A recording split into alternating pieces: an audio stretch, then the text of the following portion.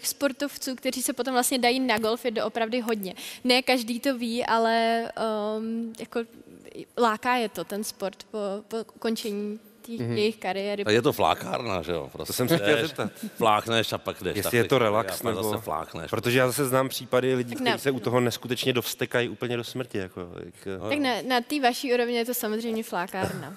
Co to, je ta, ty- co to je ta naše úroveň? Co to je ta naše úroveň? Máme klacky, balónky, všechno máme. Jo, tak já nevím, když si jednou za měsíc zahrát, ne? Tak No třeba. no, třeba, no. A zahraješ si, Jakube? Fantasticky. Baví tě to? Ježiš Ztratíš 20 Maria. míčků za jednu hru? Tratím tak jako 7-8, ale třeba už jsem zahodil hůl, třeba jako do vody. Tak letěla. Fu, fu, fu, fu. Já jsem šel s tebou jednou, ty si to možná nepamatuješ, ale ty si asi na druhé jamce ano. na Kunětické hoře eh, zlomil jedinou hůl, s kterou si hrál, tu sedmičku, že jo?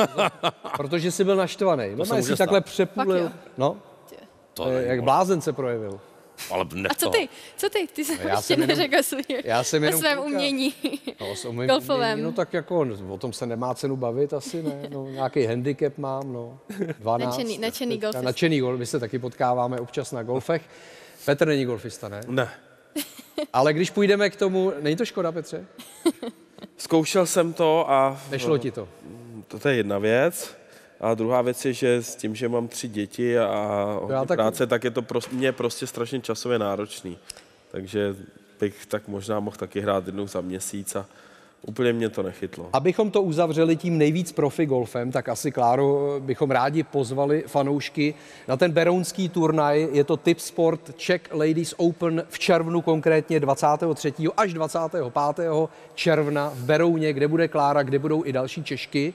Eh, V loni to skončilo fantastickým úspěchem dvou Češek, ty jsi byla druhá, Jana Melichová vyhrála tehdy. Eh, Tak pozvi fanoušky golfu. I třeba, Třeba I nefanouš. třeba nefanoušky, kteří se mohou stát fanoušky golfu. Houbaře.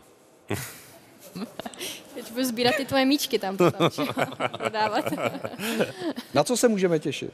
Můžete se těšit na skvělý, já si myslím, že jako skvělý golf, skvělý, golf, skvělý sportovní zážitek. Já já jsem byla hrozně ráda, že minulý rok, kvůli tomu, že jsme vlastně hráli tak, jak jsme hráli, což jsme hráli skvěle, tak eh, na ten poslední dva dny přišlo, přišlo spoustu lidí um, a tak jako přebíhali mezi mnou a vlastně Janou, která vyhrála nakonec a bylo to super. Bylo to super. Tak přijďte. Určitě. 23 až 25 červen.